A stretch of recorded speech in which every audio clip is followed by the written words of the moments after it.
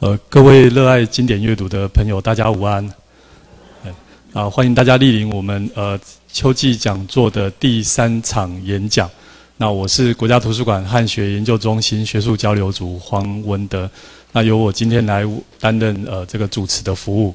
那我们今天呃的这一场演讲连延续过去呃前两场的一个主题。那呃一样也是谈呃述述述堪舆跟信仰传统的一个关系。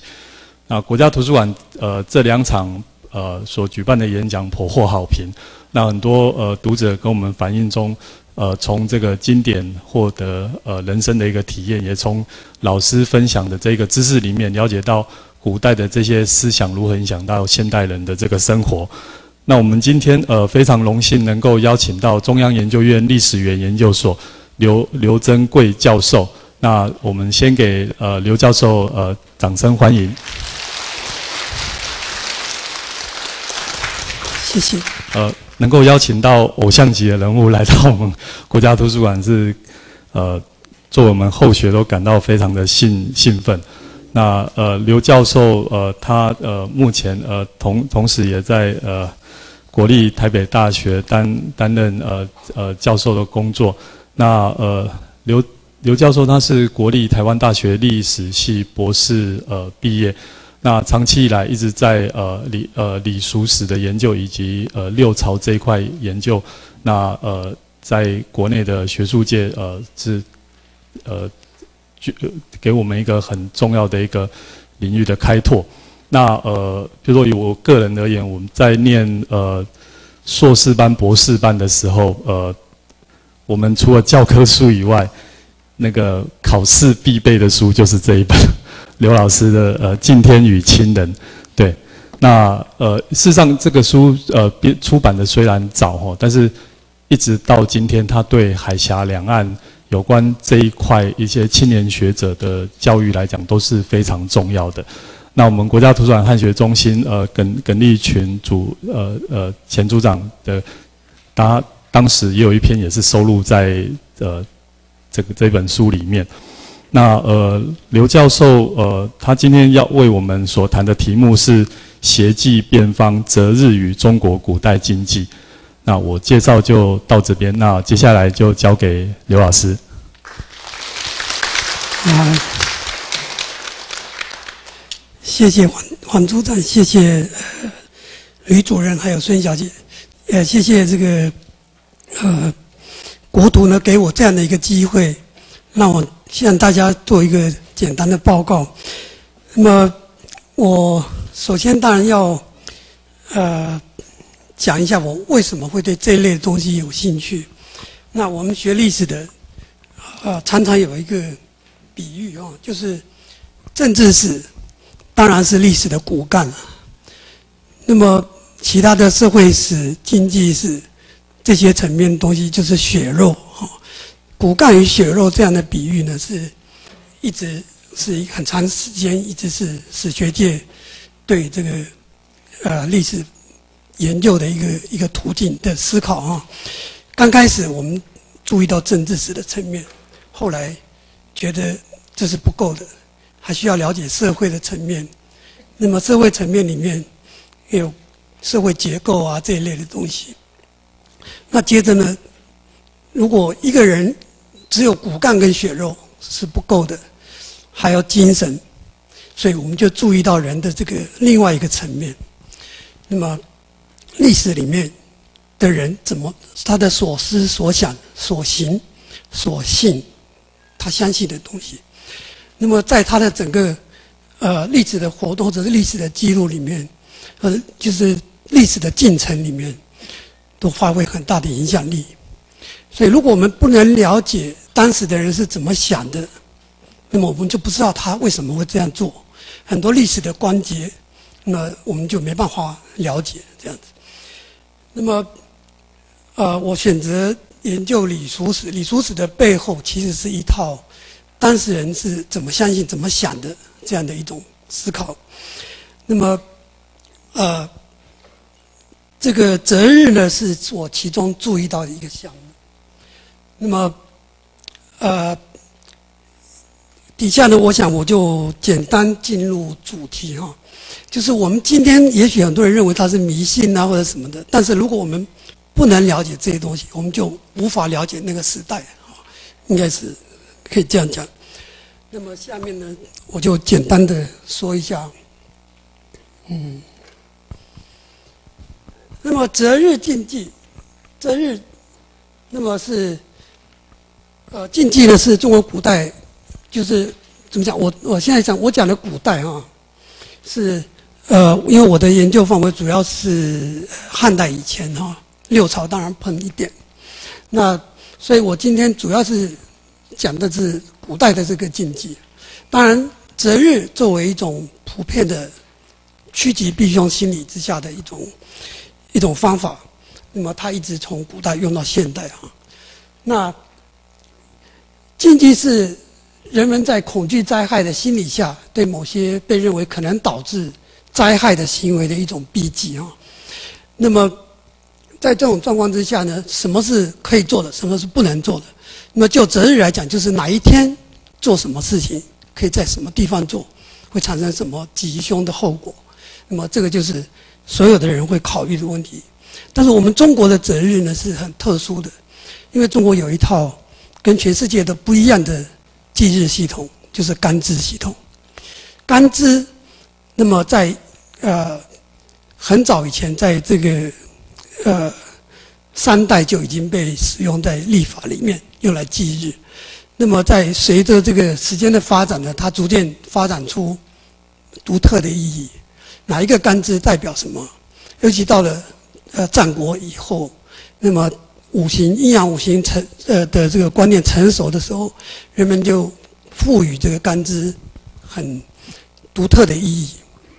那么干支可以表示吉凶，所以这一套东西呢是呃在全世界来讲，全世界来讲都是独特的。那么我解释一下为什么会用邪气变方这个作为我的题目哈。那么忌呢是指天，是指时间。方指地指方位，那么人活活在天地之中呢，他要呃尽量的，就古人的想法里面，尽量的要与天地协调，所以邪计变方就带就能够趋凶避吉，呃，就就趋吉避凶。那么，所以在乾隆年间哈，永禄受命编这个邪计变方书的时候，那么乾隆皇帝就把这个呃关于择日的这个书呢，命名为《邪记变方》。那原来他是受命是整理那些万年历啦，呃，那些通书了等等，最后选了一个这样的名字。那么这个是非常符合呃择日的这个原来的意义的，因为这个择日不只是选择适当的时间，还有方位啊。那么忌是指天的运行，那么方呢，就是指这个地的。这个呃方位，那么呃，在这个这样的一种观念底下，呃的择日是有具有特殊的重要性的。那么，其实中国古代从呃阴山开始就占卜哪一天可以做什么，哪一天不能做什么。当然，他是用的是占卜的方式。后来阴阳五行制度成熟了以后，那么人们觉得这样太麻烦了，因为这个东西是。占卜是非常复杂的事情，呃，每一次都要透过很复复杂的程序，所以，所以就，呃，逐渐形成了一套哈，把它记载在历法上的一种一种呃习惯。那么在回到两千年前，那么邪记变方书是很晚的东西，可是它这里面的东西，如果我们回到两千年前的呃日书。就我这里写的是一九四二年，呃，出土的那个以下哈，这楚帛书以下到一直到税武帝的日书，日书就基本上，呃，跟现在的这个黄历是有一点像的，它就是要把那些呃复杂的程序省掉了，把某一件某一天的某一个方位会产生什么样，某一件事情会产生什么样的吉凶，把它列出来了。那么作作为一个呃日常形式的参考，所以我们可以讲日书就是那个时候的类似黄历的东西。那么这套东西呢，其实使用的期间非常的长。比如说日书里面的建除系统，基本上跟现在黄历上面的建筑系统是一样的啊，是完全一样的，使用了两千多年。那么，呃，日书这种东西，它是非常重要的。我们就，呃，就这个它的出土来看的话。它大，它大概都是出土在小吏的，就下层官吏的坟墓里面。可是跟它同时出土的另外一种东西，就是法律文书，就是秦汉时代啊，尤其是秦的时候，法律文书跟日书之类的东西都埋在一放在一起的。尤其有些地方出土的时候，它的数量也是差不多。比如说在荆州博物馆那边就有啊大量的日书，但是也有大量的法律的那个。呃，文书，那么法律所处理的是啊一一种呃政治上面或者是政治上面强制规定要执行的东西，但是一个统治者面对的是广大的一个呃群众的社会里的一种生活习惯跟礼数，所以这两者是处理的是啊不同的范畴。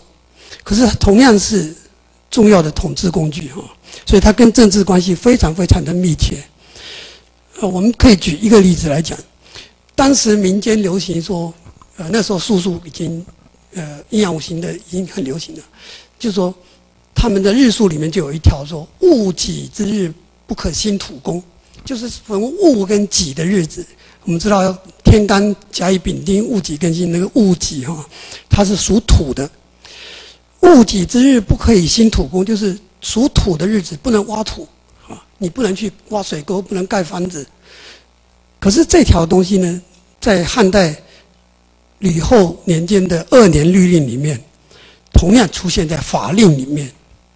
换言之，这个东西不但是习俗，而且也被吸纳到法律系统里面，成为他统治的一部分啊。那律律书跟法律文书同样是统统治工具。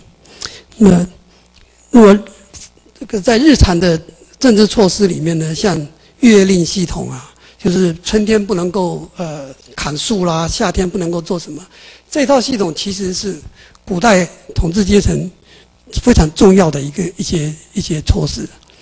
那那这些措施呢，基本上就是跟这个当事人对于时日的观念。啊，就要顺天而行。春天是生长的时候，你不能把树砍掉，不能把小鸟抓起来，因为这个就是不合天的，不合那个时令的运行的。所以月令系统啊这一类的东西，事实是禁啊，事实禁止什么东西？春天禁止啊抓鸟，夏天不能够砍树啊，秋天不能够挖矿石，冬天的不能够挖水沟。因为冬天是秋收冬藏嘛，冬天都要什么都要不不动，伏产的，所以你就把把它水沟挖了也不行。就是说，所以这个其实这个是顺应的这个这个天地的，成为一种禁忌。而这些禁忌事实是忌，我们看起来好像是表面文章，但是如果你仔细的去看看古代的文献的话，比如说呃《巨源汉简》，你就会发现一个。小小的一个岗哨哈，军队里面的岗哨只有四个人，可这四个人，他的文书从这个中央一直传达到最末到末梢，这四个人也要知道这种规定，因为他每每一季就是在呃，他有一个事实那个这个回报的文书，就是说我们这个这这个时里面这个这个地方没有违反事实之令者。所以这么小一个单位，这么一末梢的一个单位，都要回报这样的一件事情，所以我们不能小看，就不能打把它当做一个官样文章啊。那么择日系统是在整个呃古代的政治社会里面都很重要的，那么它有时候有时候也会影响到历史的发展。我这里可以举一个例子啊，在那个呃汉汉光武的元年。那么那个时候还在呃光武的系统呃政治政权还没有建立，那么他的部下邓禹啊，跟那个更始皇帝的部下王宽在争夺这个河东地区的时候，某一天就几乎快失败了哈，被王宽打得一塌糊涂。那个邓禹的部部下呢，就跟他讲说：“我们赶快逃吧哈，不逃就来不及了。”那邓禹就说：“不行，不能逃，他要坚持下来。”他就坚持了那么一天。第二天呢，是癸亥日。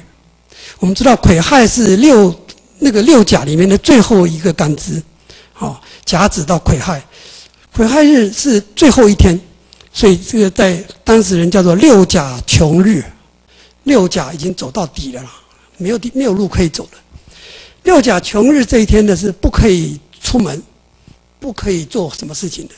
所以，就对方就停下来了，不打了。不打了以后，邓禹就休息了一天。到了甲子日，他就一战而胜了，就拿下了河东。就在这个月里面，光武在河东地区的皋县就继位，建立了东汉一朝的政权。你想想看，这么重要的一个事件，结果他受到的是古代的这种六甲穷日不能出兵、不能出门的这种这样的一个禁忌的影响。所以我们不能小看这种信仰的重要性哦，它有时候影响是非常非常的大的。嗯，呃，底下呢，我要进行呃，从几方面来看这个呃择日，古代的择日的系统。那么我现在我不晓得，等一下。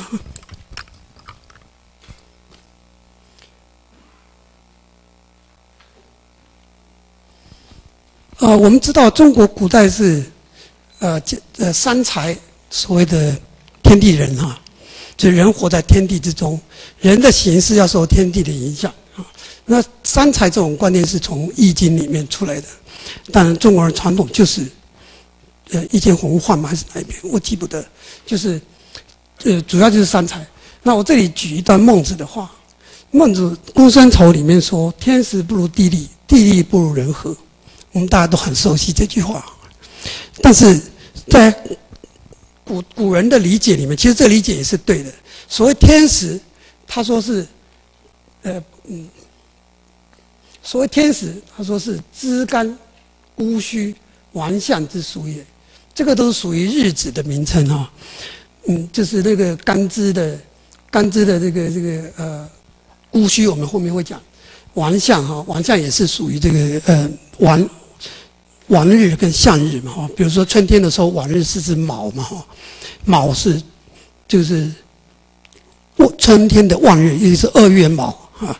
那那个这个呃向日就是就是下一个月的或者是下一个季的分那个呃春天是属属属木，下一季是属火啊，木生火，夏天是火，那么木完的时候火就就是向啊。这个就不讲，这个就是说，主要就是所谓的天时，它是在战争里面是非常非常重要的。在古代的作战里面，哈，里面就有一种人叫做四日，就是看日子的，就是看这个日子是怎么适不适合，天时在不在你这边。像古代，比如说，甚至包括造反在内，哈，他们都会去看看日子的。呃，有名的日子，有名的一个例子就是那个。刘歆，啊，我们大家都很熟悉。刘向、刘歆，哈，刘歆他后来有人他的儿子还有部下劝他说反对王莽了，要起兵，他就是不起兵。他说我还没有看到太白星啊，太白星看到了，时间就到了，所以他要选择那个日子。呃，这个在呃，我有点扯得远哈，就是说。我们讲三才的时候，天地人好像是一个三维的概念啊。可是实际上，这个古代的这种呃宇宙观里面，它其实是比较复杂的。它除了天地人以外，还有一个鬼，就是鬼神。这个是一个呃六朝的四盘啊。当然汉朝也出现很多四盘，我们后面会提。那四盘里面都有四个角，叫做呃西北是天门。东南是地府啊，西南是人门，那么东北呢是鬼门，天地人鬼四个门。那么这个当然很明显，这四盘是用来选日子的哈。这是圆的是天，方的是地哈。那么这四个怎么来的？那古人在呃在那个《大代理记》里面就有哈。这如果你把一个方的盖子盖呃把一个圆的盖子盖盘子上面，我露出来了，这个就是所谓的四门，天地人鬼啊，就是。那么这样的话，除了天地人之外，还有一个鬼神哈。那么这个天地人鬼一起提的。其实，在古古书里面有很多，啊，这边我举了一些例子就不讲哈。包括汉文帝的诏书说：“天道有不顺，地利和不得，人事多失和，鬼神不祥。”这样，我举这个天地人鬼，就说，古代的宇宙观哈，是比我们呃是就不能用现在的所谓的三维啊什么去理解，它是天地人中还有一个鬼神。那么我这边呃整个文章和整个报告的展开啊，就用人跟人的关系，人跟天地的关系，还有人跟鬼神的关系这样的一个结构来来谈啊。那么底下呢，我们就谈一下，嗯，天地人与天地自然秩序与禁忌啊。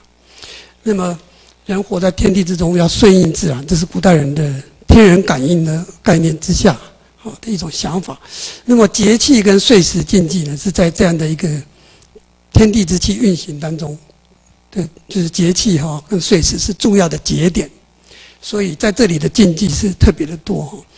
那么太史公秩序说，阴阳四时八位二十二度二十四节各有教令啊，顺之则昌，逆之不死则亡，所以这个就产生了禁忌啊，所以使人居而多畏啊。然后他说：“春生夏长，他当然不很赞，不很赞成这个呃居而多位的那种啊，但是他说春生夏长，秋收冬藏，还是天道大计是不能变的。所以你如果不顺着，那么就会呃产生问题。那么节气方面，我们先看一下月令系统当中的禁忌哈。那么一九九呃月令，我们知道是。呃，《吕氏春秋》跟《礼记》里面都都有哈，基本上在完满的诏令里面，就是这个四十诏条里面，它其实就是根据那个呃《礼记》啊那些的月令。那么它这里规定的每一个月不能做的事情啊，它是大体上讲起来，春天不可以伐木了等等啊，秋呃这个二月不能够怎么样，因为二月是。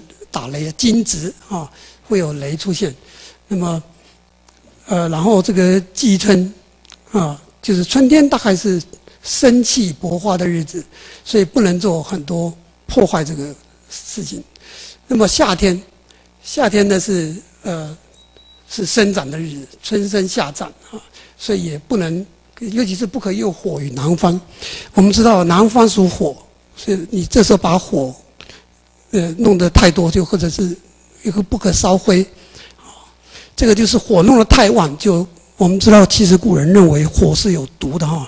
南方是太阳，所以呃，最这个太阳盛的地方是火毒最盛的地方，所以代表代表这个最南方的五月哈，是是最最不好的一个月。我们等一下会谈，那，五月。不可用火于南方哈，六月不可行宫，七月啊，七月是可以可以秋收有为哈，但是但是呢，七月呢有些不能做的事情，因为因为七月是属于西方，西属金嘛哈，这个时候你去挖矿是不对的，把金挖掉不行。那么冬天啊，不能，冬天是北方，北方属水。所以不能够觉醒水泉挖这个哈，等等。那么这里呢，其实牵涉到几点。那第一点呢，就是这里面的禁忌是牵涉到一般民众的信仰，比如说二月的时候，你不可以打雷的时候，不可以呃有就是有想要生小孩的那种，呃，就是这些都是民众就一般公共会触及到的东西，所以它第二个就是说顺应自然之气啊，就是就是在那个秋收冬藏呐，这或者是春生夏长呐，那么这个自然之气这是不能够违反的。第三点就是事实的这个运行跟事实的禁忌跟五行也是相关的。我刚刚讲到呃南方春夏天不能南方火哈。南方就不能在南方用火，或者是秋天不能在西方挖金哈，冬天春天的不能在东方，就春天是砍呃不能砍木头，木是属东方嘛，所以这个就是已经把五行概念结合在里面了。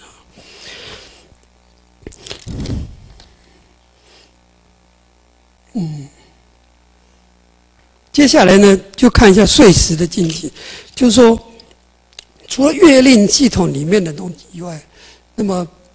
一年有二十四节气，就重要的是八节。八节里面它也有很多不同的禁忌，比如说，呃，正正旦的时候就初一的哈，就是初一如果碰到日食的话，这是最不好的哈。然后初一有一些禁忌，比如说不能够毁坏器具，因为这是一年的开始，你把东西都搞坏了，整年都不好。那不可以杀鸡啊，这个为什么不能特别不能杀鸡？因为古代的这个占卜哈。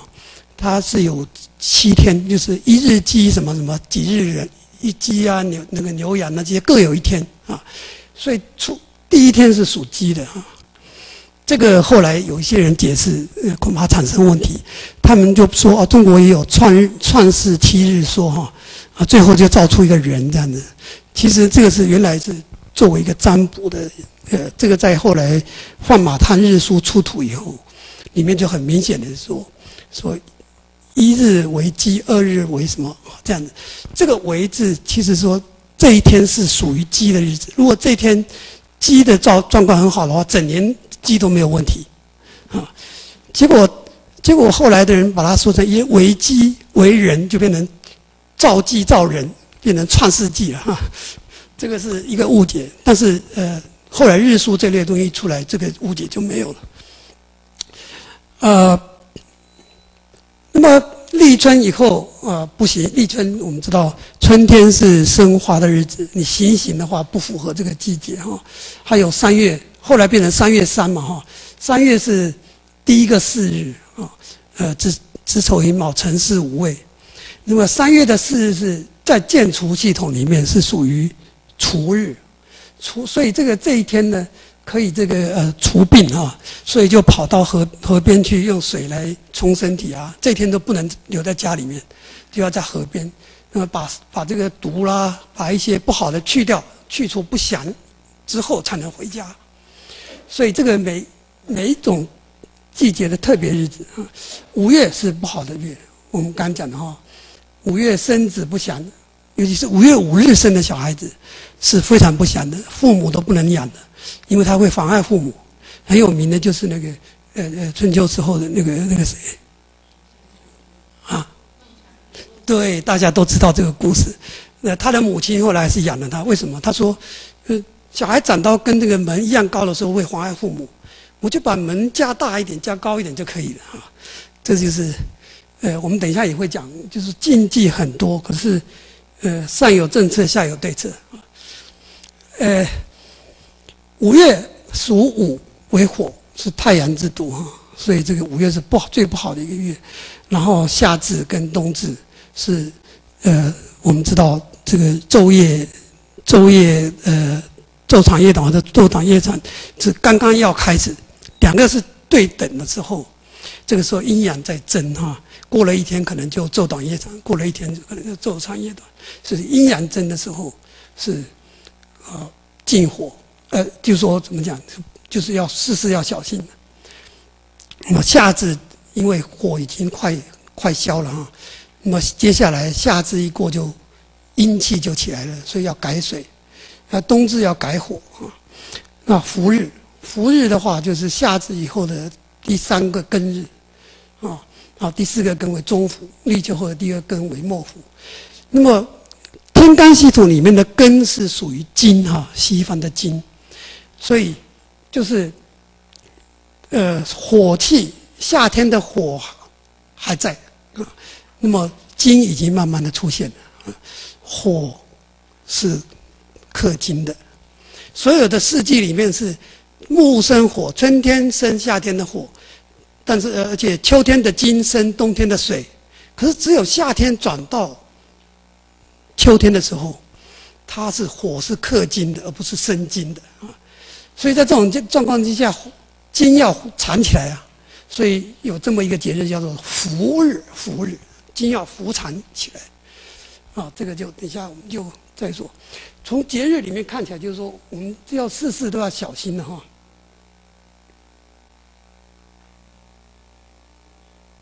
嗯，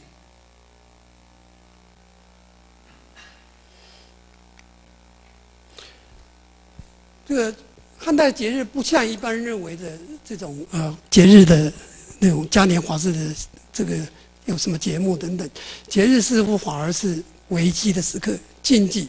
刚好是度过难关的守则啊，那么常常不出门，以不出门来避祸啊，跟汉代处理天灾的事情是一样的。比如说冬至、夏至之日，管理不办公，就跟这个汉献帝时候一连串的地震所采取的这种措施是完全一样。呃，除了这个节日的节气的这种禁忌以外，还有。就是一般所讲的十日经济啊，就是我们讲日书里面那些东西。那么当事人普遍相信一切的祸患都因为触犯了这个而引起的。所以，我们今天来看看这个日书里面所提到的这些这些这个十日的系统的时候，我们看发现有一些特色。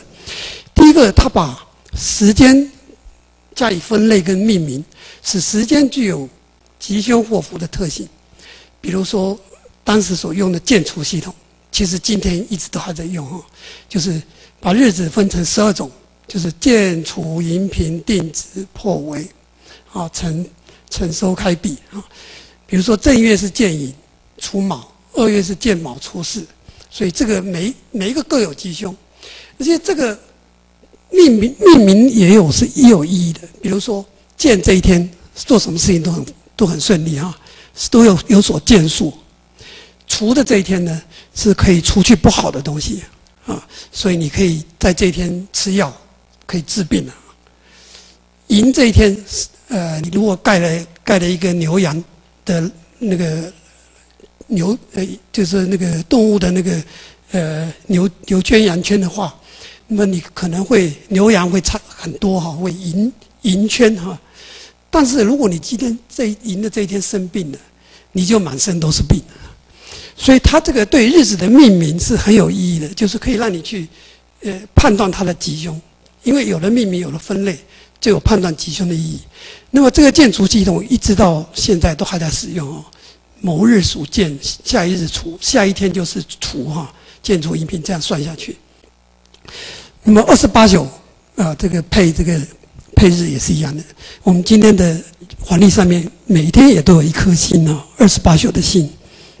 啊，那这个事情是有意义的。比如说，房这一日是你可以盖房子啊，盖房子一定要选这一天。牵牛这一日，这个在日书里面就讲说不可杀牛啊，杀牛的话是不祥的啊。戌为日，你看这个名字就知道是很不好的，就是做百事凶。你如果今天如果碰到戌日为日，什么做什么都不行。还有未日，未日你可以做什么呢？就是盖仓库。这为什么胃跟仓库有关系？因为胃容纳食物，就跟粮食放在仓库里一样，这是一种呃巫术的联想吧？这古人的一种，就说你可以去理解他是怎么想的。那么第二个特点就是十日具有五行的属性。如果用干支这个哈来记日的时候，它是很明显的有五行的属性的。那么我们看到很多规定里面说，行忌土而利于水。啊，物己不可动土。我们刚才讲的物可物己不能动土，因为你土气盛的时候动土就不行了。所以它干支的意义就是反映在这个你的行为上面的。那么出行，出行也是祭土，因为出行你要踏在土地上面，所以土气很盛的日子绝对不可出行。什么日子可以出行呢？今日水日。可以出行。那么金生水，金跟水为什么可以出行？因为在古代的五世系统里面，行神是属于北方的，北水的啊，北方水。行神是是北方之神，所以属水的。那么金又是生水，所以就，所以这个可以看出来，呃，这个日数里面这种十日它具有五行的属性啊。那么更值得注意的是，神煞系统已经在里面形成了，就是汉朝人非常相信神煞的，虽然没有神煞这个名词啊，这个。但是它会有煞在哪里，有神在哪里啊？那么，所以这个日子就有了神煞系统，日子就不是单一的日子了，它是一组日子，它是模拟天体的运行。今天在这里，明天在那里，所以你可以画成一个像这样的图哈。那么，我们用太岁这个例子，呃，现在太岁其实有两种哈，一种就是。今天我们讲每一年走一格的啊，那个今年，比如说呃属属丁酉年嘛哈，那个，所以今年是今年的太岁在丁在酉在那个西方啊，那么呃，所以一年走一格，这个汉朝也有，汉朝这个在呃王充的论衡里面就讲说，如果呃今年太岁在子的话，子丑寅卯那个子啊，太岁在子。子就是北方的正北了，午就是，呃，午就是南方正南。为什么会子子会正北正呢？就是子代表十一月哈，这个是因为中国采取的是夏历哈，就是汉武帝以后就变成夏历了。汉武帝以前啊不是，就是曾经采采取别的历法。那么夏历呢是十一月开始的，就算这个，所以十一月是正北哈，正北这是正南。那么，呃，一种太岁是我刚讲的，一年走一格。那另外一种太岁哈，是太岁，就是这是太岁哈，这跟岁阴就是我刚讲的那个那个太岁。现在的这讲的这个太岁，一年每一年走一个方位，呃，一年走呃走三圈哈。一月的时候在卯，就是卯午酉子，或者是东东南西北这四个方位，正月。太岁在卯，哦，二月太岁在午，就说，就是正月的时候太岁在东方，呃，二月的时候在南方，三月的时候在西方，这样这样这样一年走走个四圈哦，十一月的时候是在酉等等，这是一种太岁哈。那另外的这里面叫做小岁，那子丑寅卯就是正月正月寅啊，二月卯，三月辰，四月巳。这个其实就是刚刚讲的建除里面那个建哈，所以这个叫小岁小时，这个叫大大岁大时哈，这个就就是说这就是两个神煞，一个叫太岁，一个叫小岁，呃，这个神煞就不是一个一天而已，它是它有一个运行的轨迹哈，它是一整组的要禁忌的东西啊。那么许多神煞都已经出现在。汉简的那个历历法里面的立柱里面，王充也提到说：“立上诸神非一，圣人不言，诸子不传。”啊，那这种呢，在当时来讲就已经很多了。那我们我们知道，呃，《邪气变方书》里面有非常非常多的神煞啊，基基本上就是在那个时候，应该说在战国末年就已经出现了。这个日书。虽然是呃秦代的哈，秦汉的，但是这个在战国的时候就已经已经有了。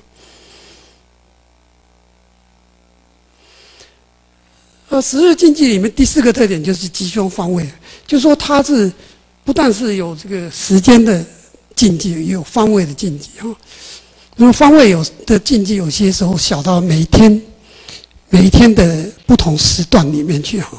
已已经非常的细了哈，所以很多东西禁忌的，呃，我们后来讲这个四柱，啊，我们我们就是四四柱八字嘛哈，这个通常讲说是呃唐朝的吕才开始的，其实你如果往前看的话，这个讲吉凶讲到时辰哈，这个是很早很早的，并不是像后来所讲的。那么，总之，如上所说的，关于十日的禁忌呢，后人曾经总结为两个大方面：一个是邪忌，一个就是变方。那就是邪乎五忌，变乎五方啊。这邪乎五忌是从善术里面出来的。那因此，十日禁忌反映的是人跟天地协调的思想。神煞可以说是虚拟的星宿，模拟自然运行。那《焦氏易林》是汉代的一本占卜的书啊，它里面讲说：巨斗运输，顺天无忧。顺天正是十日禁忌的关切点，与上述的四时之大顺有其一贯之处。那么，人跟天地自然的这个禁忌里面，当然会牵涉到天象跟这个其他的自然物。我这里就简单一提。那天象异常的时候，是的日子呢是要特别的注意的。但是当然，像这个呃日月食了这些，我就就不讲了哈。那这个一月一个月里面的晦日，就是那个啊月底哈，那这最后的一天，一个月的最后一天，一个月的第一天，还有这个呃中间的月月圆之日啊等等。都是非常重要的，要禁忌的。春秋以来有“晦日不可出兵”之计啊，又有“朔不可枯，晦不可割”之计啊。当时人认为月时出生的人是不祥的哈。那呃，就是说在初一的时候是可以可以进新房子住，因为是好的开始嘛。但是在月底的时候，你就不可以。不可以进新房子。月底的话是利于出季，你要去别人家里面去去租房子啊，你要找月底，这是古人的一个说法哈。那么还有斜日行杀，就在这个在经书里面讲说斜日行杀，就是说执行刑法死刑的时候要找个好日子。这为什么要找好日子？那个郑玄在这个他的注解里面就讲说：若今。我若今这个万后一日，就是在月圆以后的好日子。月亮在月圆以前呢，都是逐渐生长的过程，在生长过程里面不可以行杀法之事，所以要在月亮圆了以后，从十五开始就开始下跌的时候，越来月亮光亮，阳气越来越少了，这个时候你可以可以杀，因为阴气是主杀的哈。其实汉朝的那个做那个兵器的时候，也有一个禁忌，做兵器要选晦日，就是完全没有月亮的日子，啊，因为这天阴气最盛做出来的兵军事行动是一种阴的行动，不是阳的行动，所以这个就是啊当时的一种一种禁忌啊。那么雷日。雷日我前面也提过了哈，就是这个在这个呃打雷的日子哈，不可以呃这个呃有性行为，以免生下这个不好的小孩啊。我们后面讲生育的时候还会再提的。那其他的伐木种树这些都有都有禁忌啊。那总是在天然观感应的观点之下，那么把天地以及周遭环境的变化跟自己的命运。呃，放在一起哈，是当事人的一种想法。那么，在这个的背后，其实是可以看出来，但是要顺应自然、协和天地的观念。呃，讲到人与人的关系，就比较复杂一点。人与天地是人对天地的一种顺应，可是人跟人，他不是。就是说，不只是单独对你什么不好，呃，选择不好的日子对你有有不好而已，它还会影响到你的四周、家人、邻居，所以它是很复杂的一种人群关系。那么我从两方面来看，一个是生命礼俗，它当然是个体的方面比较多，比如说你的啊生老病死。那另一方面就是讲的是这个生活礼俗，就是食衣住行。啊，这个牵涉的面都不一样。先讲生育，那么当事人的观点里面，人是秉天地之气而生，所以天地有什么变动的时候，也会影响你。人的呃好坏、吉凶、聪明，都是在受气的那一刹那，就是受孕的时候就已经决定了。这是汉古代人的想法，所以这个里面资料有很多，我这里只举一条哈，做一个例子。呃，这个在这个呃《产经》里面，《产经》已经找不到了哈。这个是在呃《一一心方》里面呃录的，是宋朝的《一心方》里面，这个可以还原回来。呃，《产经》提到合阴阳要避九阳，说日中之子怎么样，夜半之子怎么样就不好。天地闭塞的时候，夜半然后。如果是生这样的话，生下小孩子就会就会聋哑哈，盲盲哑蛮龙啊。那么雷电之子，所以这个生下来小孩子是也是不好的啊。这里有九个不祥的地方。那么当时人特别重视出生的时日，认为出生时候可以看到他的一生啊。日书的记载里面有不少以生子日占吉凶者。那么说服帝秦简的人字篇跟马王堆的。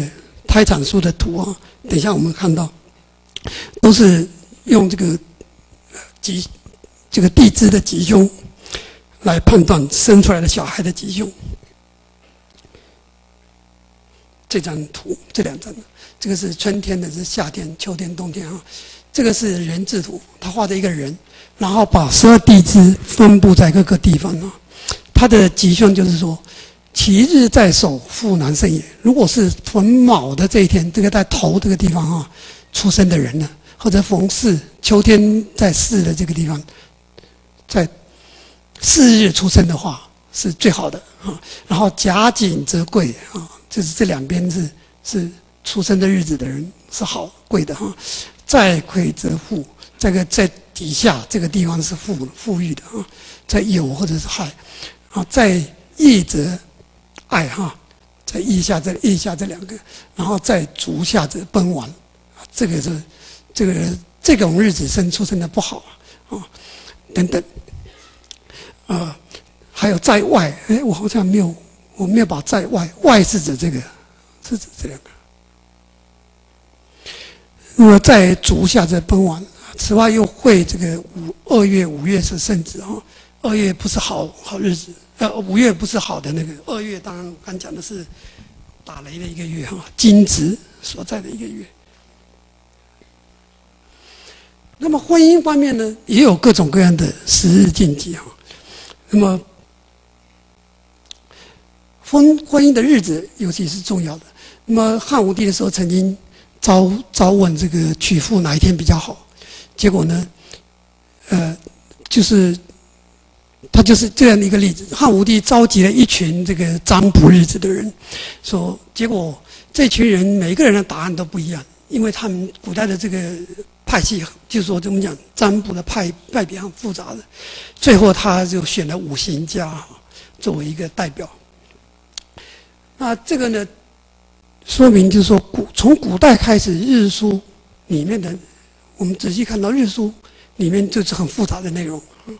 它就是各种各样派别都有，一直到现在的黄历里面，其实它自相矛盾的地方非常非常的多哈。因为不同的推算会有不同的结果。那选日子，选的古代的呃，就是在日书里面看起来，还有别的地方也都是这样的，就是把日子分成阴阳。那么阴阴阳就是说，要把那个天干跟地支哈，这个阴阳和合，是有的是。就是说，把日跟月哈都分分成男女了，就是雌雄哈。如果说呃雄日就配子月，这雄酉就配子日，这样的，就说这这个这样子就能够达成阴阳和合的概念啊。所以这是嫁娶是男女的结合，他就用这种方式来表达。还有离日，就是逢戌亥这。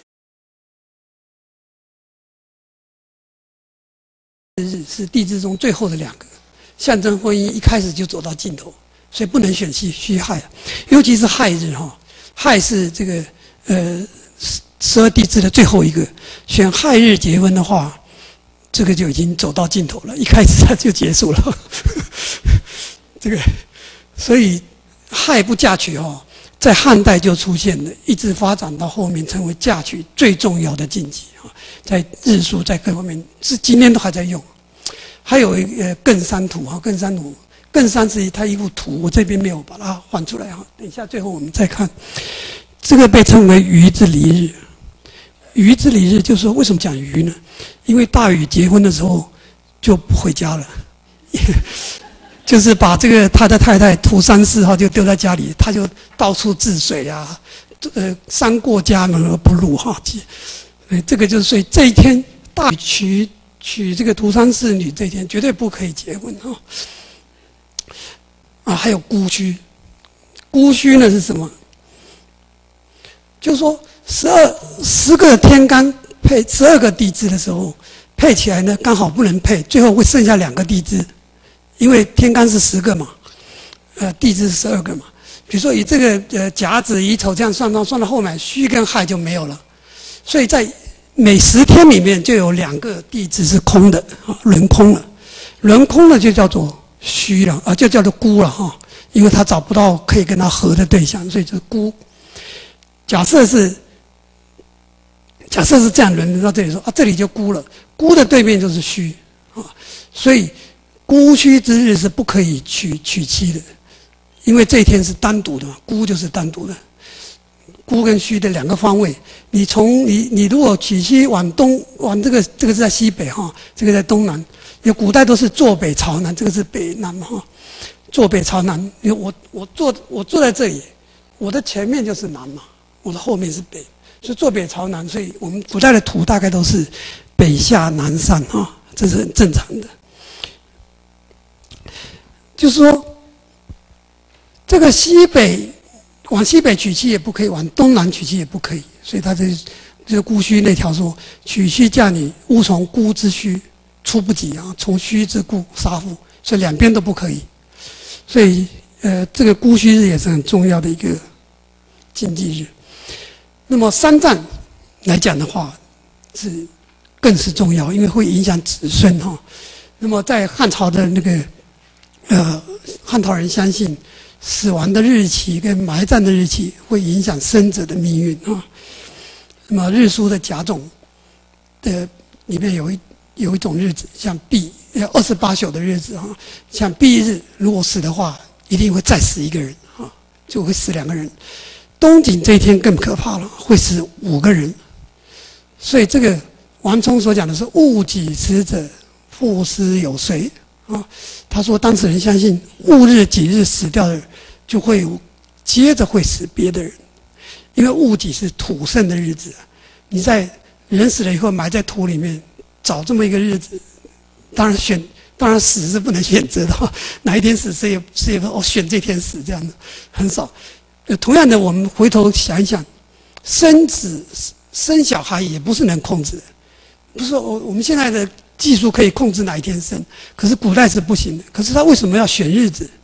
这个当然是给父母看的啊。如果生一个会妨碍父母的小孩，他说不定一生下就把他杀了，把他淹死了。这个是很残忍的。可是这些东西呢，是其实也是也是存在的哈。有时候有些日子是正面，也是反面。比如说建初里面有一天叫值日，值就是那个。呃，执政的执政党那个执哈，就是说这天你出门的话会被人家抓起来，叫值日嘛哈。可是你想想看，抓人的人是不是也在那天出去抓人了？所以这个就是两面的东西哈。所以你可以给这个给这个出门做生意的人看，也可以给强盗看。他是选这一天刚好避开了这个呃被抓这样的。所以这个怎么用，这是另外一回事。就说。呃，这个戊己死者啊，父死有岁，当事人也相信这个死了以后会回煞，就有着这种回煞这类的东西哈。所以他不同的方位的不同时间死的人，他煞在不同的方面。这个诗有时候是写成一个歹字边哈，一个诗这样子，就是呃，跟现在的煞的意思是一样。那么站的日子。是会影响很很大的哦。这个在东汉的王充的论衡里面就提到说，当时流行的站立上面讲，要避九空地陷，地之干柔，月之基偶，就说，呃，这个我们后面还会再再提哈，干日柔日会在提，就说要基偶相应，乃为基成，这个跟那个结婚一样的，你不要干日柔干月柔日柔日干月这样子才能够，呃，这样才能够这个算是吉的哈。如果你，呃，干日死，干日战，或者柔日死柔日战都不可以。就要柔日死，干日战等等，啊，然后这些地线九空，这个都是神煞的名字哈，都有一套运行的轨道，这里我不多提了。那另外有一个非常重要的日子是辰日，在汉朝以来一直到现在都在用的，就是埋葬日不能选辰日，因为辰日在在这个系统里面呢，辰日不哭，哭有从善，就你哭这这天不能埋葬也。不能哭啊！那个严氏家训六朝人哈，严呃这个严严之推的家训里面就说，辰是水之木，又是土之木，所以所以这光是这个时辰就有两个木哈，就是因为古代的五行把它放在十二宫里面，啊，十二宫从这个胎养一直到死亡啊，那个到木，就说辰是水之木，又是土之木，所以辰日一哭就等于说你你就是要死再死一个人嘛啊。死一个不够，要两个木。所以啊，我曾经骗考汉代的战日哦，从碑文啊，从传记里面找哪一天出战的，是完全符合，就就是发现辰日被严格的遵守啊。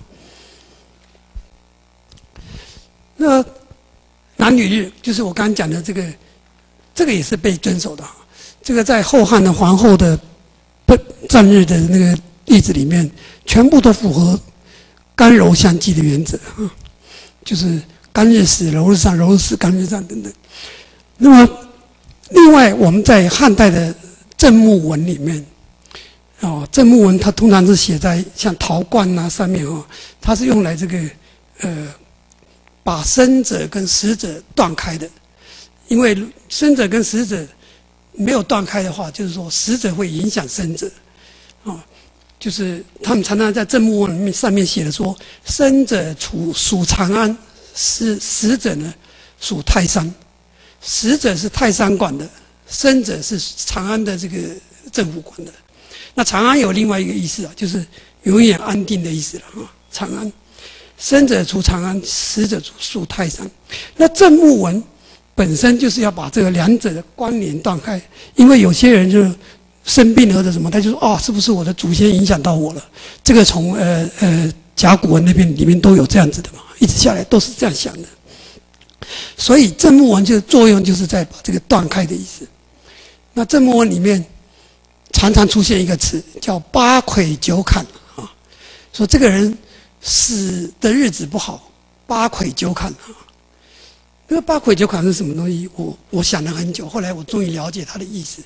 因为我在一个正木文里面发现它的“魁”字哈，写成“鬼”鬼怪的“鬼”。八魁九坎，今天这个呃八魁比较少用，九坎哦还在用。这个就是九坎，邪气变幻术里面的九坎。就是说，他们两个都是神煞，可是你想想看，一个人死的日子不会是有两个神煞吧？因为每个神煞日子是不一样的，一天怎么会有两个人神煞？他为什么要把这两个摆在一起？就表示说。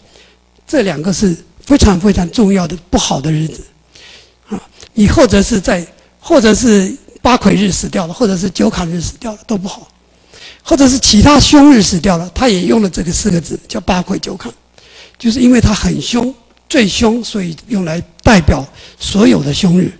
他凶在哪里？我后来想了很久，看到了那个鬼字，我终于想通了，就是八魁。就是“魁”字就是鬼了哈，“坎”呢就是矿的意思，“矿”就是墓墓穴了哈。就是你今天明明只死了一个人，可是却有八个鬼啊，就是还要再死八个人，还是还要再死七个人嘛哈。那你明明死了一个人，却要挖九个洞，后面呢 还要再死很多人，所以八魁九坎比前面的那个什么东景日那个只死五个人还凶很多，所以他就用八魁九坎来代表这个重复。所谓重复，重复就是重重新又死一个，再死一个啊，这个重复是所有的呃这个三藏里面最忌讳的一种一种现象啊。因为古代比如说有呃有那个疾病啊，它会传染，一传染就是一片啊，所以在很多里很多的那个解除文书里面或者目正目文书里面，最重要的目的就是就是把这个重复的现象给它消除，解除重复。OK，下面再讲别的。那么生命礼书里面讲到身体本身也是有禁忌的，身体的忌日有血祭日啊，血祭之日到现在都还在有的哈。现在呃很很忌讳什么？哪一天被针刺到了出血就不好。古代就有这种忌日。他说《孔家波日书》里面就说，血祭是某日不可出血，出血不出三年必死。那这个在针灸里面有针灸的血祭日嘛，大家都很很清楚。在古代就已经出现了。日书里面还有血祭日是不可以杀生的啊。这天是祭血，所以这刚好是祭杀的日子。那么，头发、胡子这些东西都是人的身体的一部分，所以常常有胡子剪下来、头发剪下来被人拿去施法啊。后代有常常有这种现象。那有一个呃著名的学者写了一本《法须藻》啊，是代表说人的这种禁禁忌的这些。可是，在清理这些东西的时候要择日的，包括洗澡在内啊，都要找好日子啊。古人洗澡不是那么那么平。那么那么快那么多哈，呃，礼书里面讲说五日一休沐，我是五日一沐了，每五天洗一次澡，这个其实是在北方来讲，我们看到文集里面写他说，今年不不洗啊，就是经过一年都不洗了，现在洗了以后，我身体就觉得很轻快，这样的有这个 这一类的记载。那么，但是连洗澡都要沐浴，就表示说，其实沐浴，呃，连洗澡都要择日，表示择日，表示洗澡不是那么多的哈。这，然后他又讲到沐梳，洗头发哈，哪一天洗头发是好的，哪一天洗头发不好的。还有影子，影子也被看作是身体的延伸哦。所以有某一个时期，影子是不能够被怎么讲？比如说五月的时候不上屋哈，五月不能跑到屋顶上去。那么，呃，就当时魏晋时代有一个人就解释这个，他说：“五月不上屋，说五月人脱上屋，见影魂变晚。”就跑到屋顶上面去，太阳一照，其实五月是太阳最大的月哈，就是你的影子是全全年里面最短的一个影子，代表人的魂啊，影子最短表示说魂魄就是不不利了啊，就是很少，所以就对身体不好。所以五月，甚至是呃夏至前后，影子最短，生命消散啊，所以就是引为禁忌了。呃，下面我们讲一下生活上的禁忌，那么可以分几方面：衣食住行啊。饮食来讲，等一下我看一下这个时间。好。那个关于这个饮食哈，我们每天都要吃饭的，可能每次一次就择日一次。这个饮食通常是指这个宴饮啊，就请客吃饭。请客吃饭是要择日子。那么当时呢是有各种各样的禁忌，我们这边就举几个，一个叫次第临日。这日书呢所在的次第临日哈，在后来的协记变方书里面也存在了。而且干支是完全一样的，那呃，但是在日书里面，它是限各月的上旬哈，是次第降央之日啊，它只有上旬的才算这样的。这个这天不但不能饮食，什么事都不可以做，因为这天是呃次第出行的日子，他也不可以，人也不可以出行啊。我后面也会提到。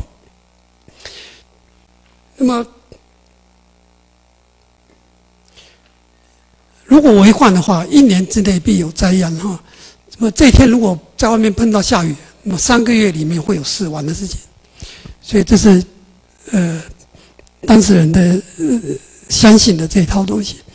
那么还有一种日子叫上朔日，上朔日后来也存在哈，在这个显息变方书里面有。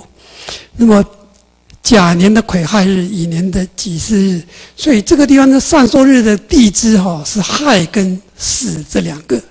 我们可以看看这个吧，亥在这里，巳在这里。呃，如果这是十一月，这亥字就是亥字是十月了哈。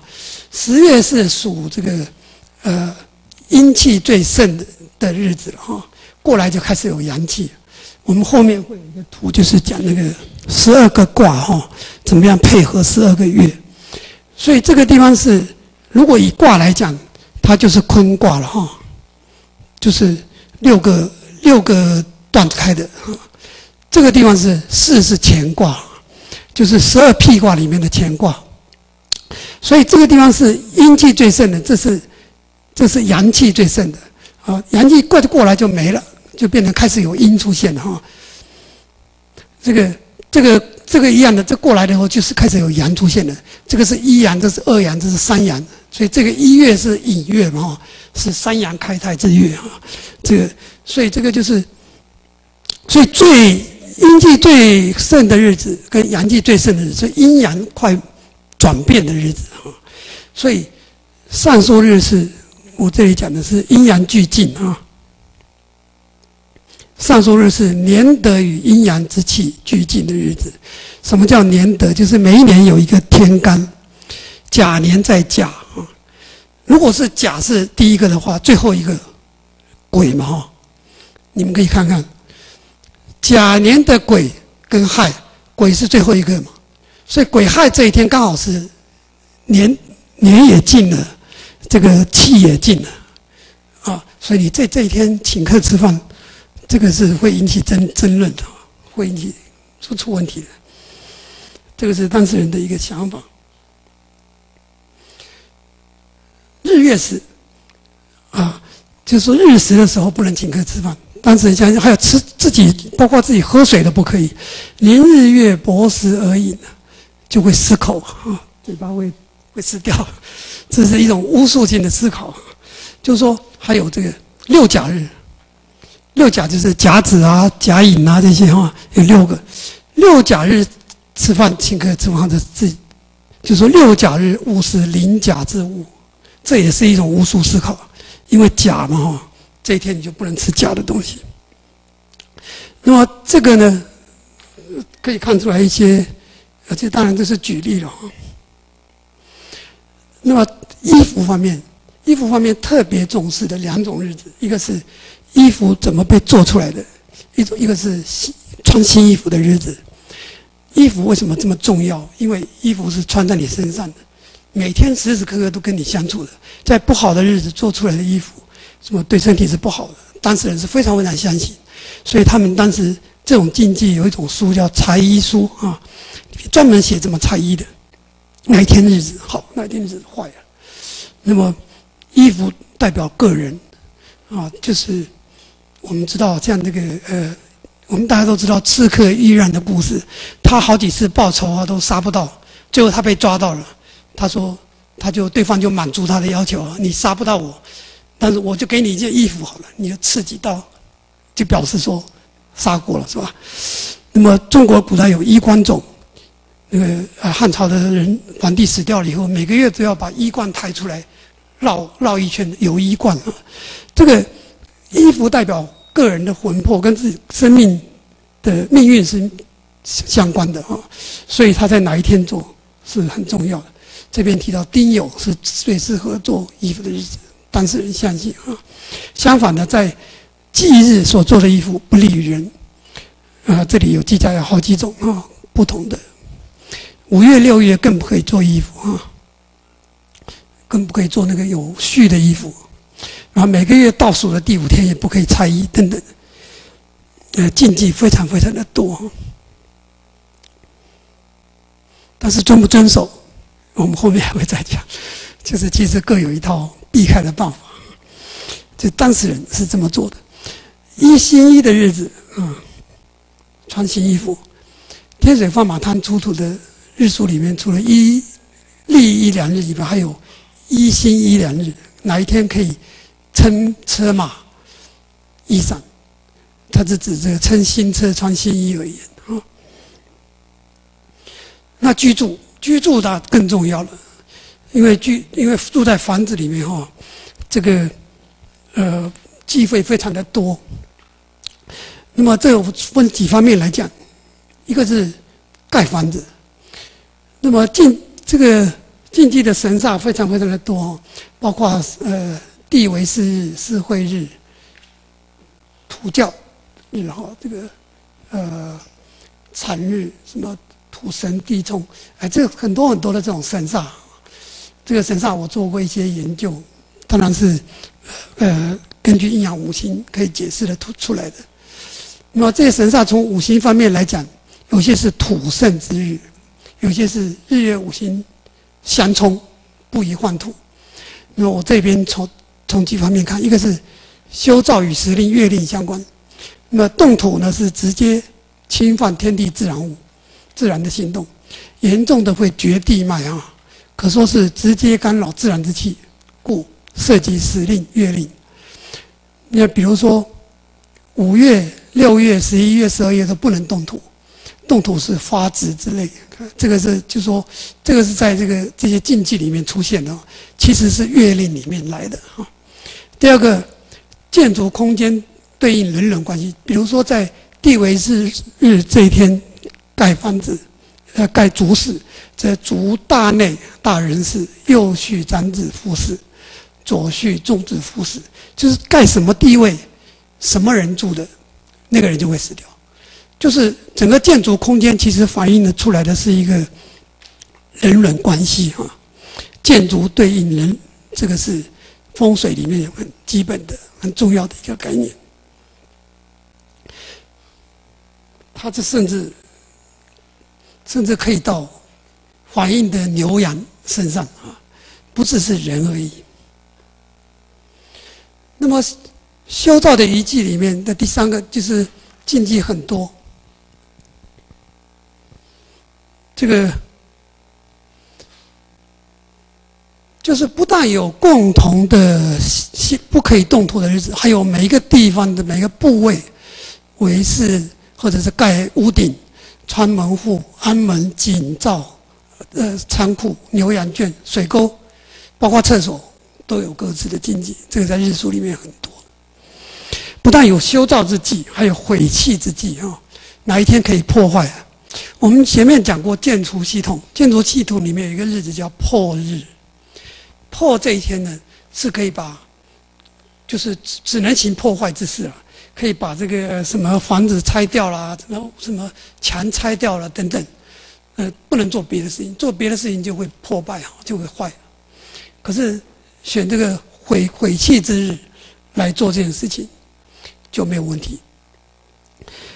那么当事人的相信的这些东西，在方位信仰在这个禁忌里面也也很重要的。比如说，春天不可以见东向的事，夏天不可以见南向事，因为春为东方嘛，哈，夏为南方，所以你就朝那个最盛、最旺盛的季节盖的房子是不对的，是会跟它冲到。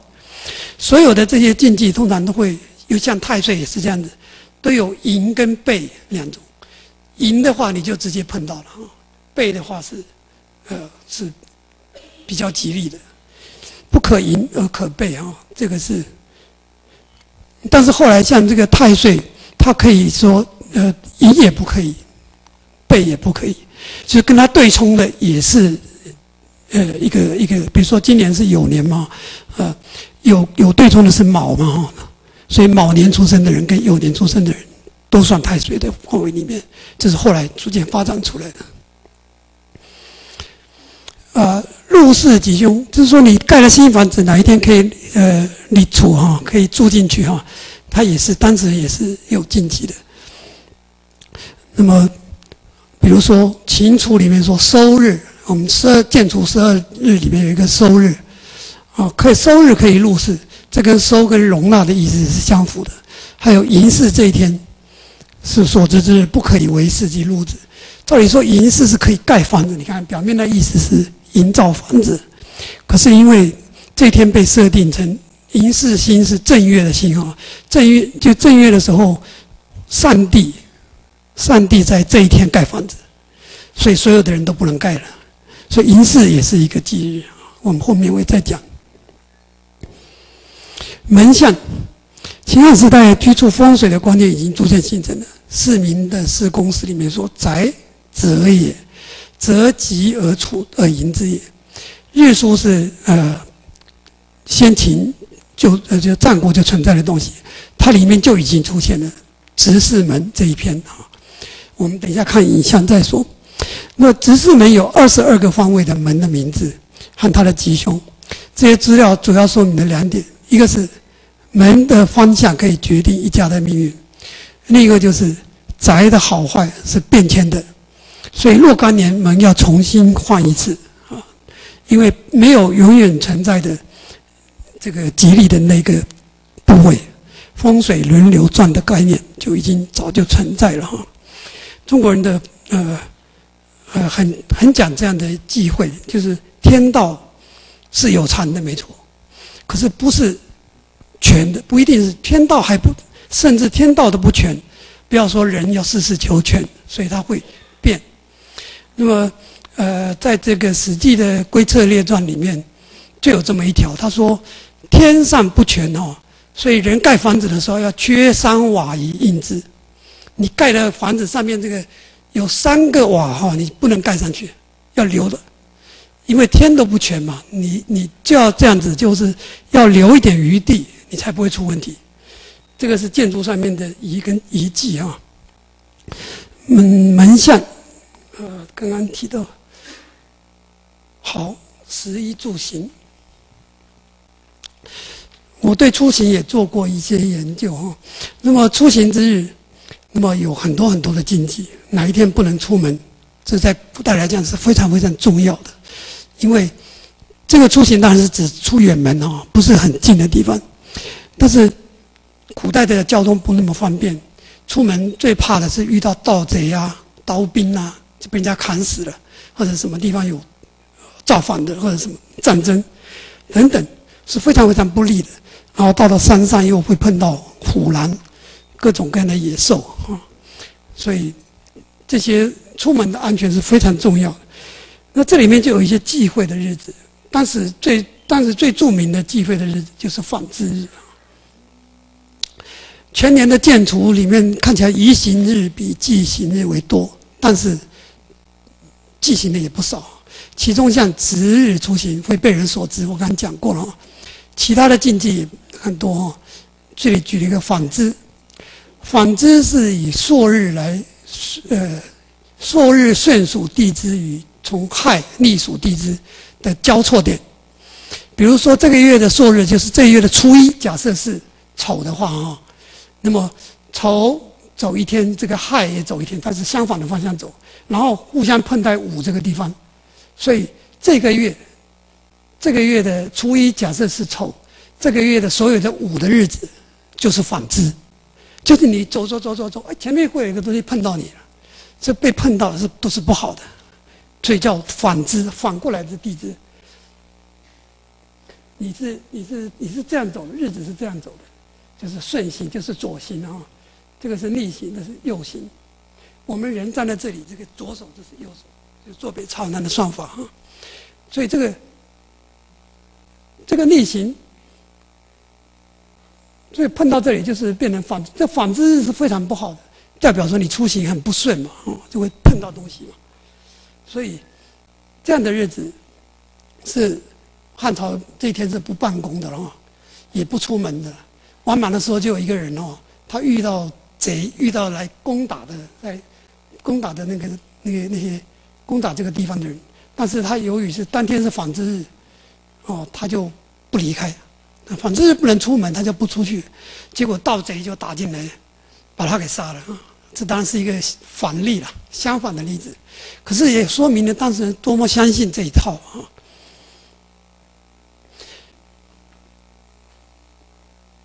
还有次第临日，我刚已经讲过了。次第临日不能够，临日这一天是不能出门，因为次第啊，次第是南方的地啊，那南方的天地要出来，南方是火太阳啊，阳气最盛的地方，所以你这个你你你出去就会碰到他啊，碰到他就不好了。他是刑法之神，刑法的刑法之地啊。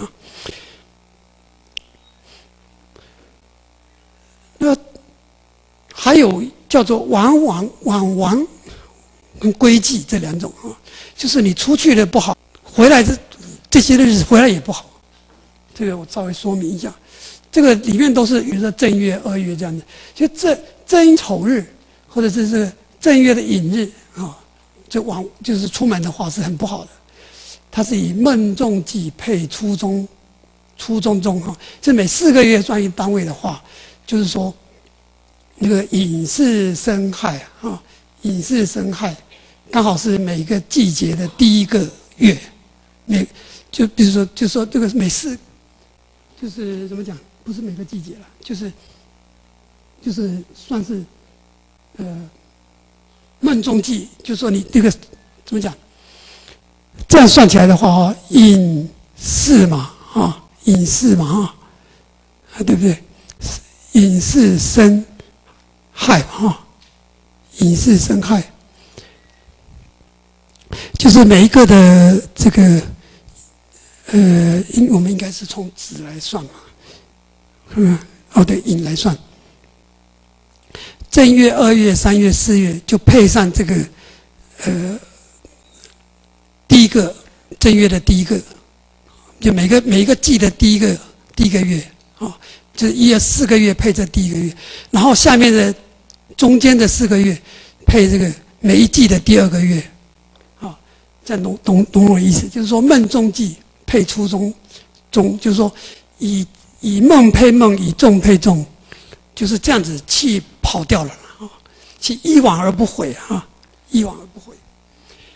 所以这时候出门就不行了啊，一往而不返。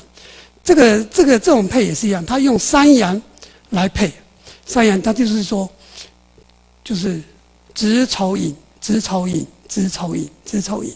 我们刚刚讲的，这是一阳，这是子是一阳，丑是二阳，寅是三阳嘛。那阳气都在外面的，所以这个时候你要回家不行，因为阳气所有阳气都在外面，啊，是是在外不可归这样子。就当时这这种呃这种术数上的思考，是是是这样的设定的，就是碰到归忌日、往往日都不可以。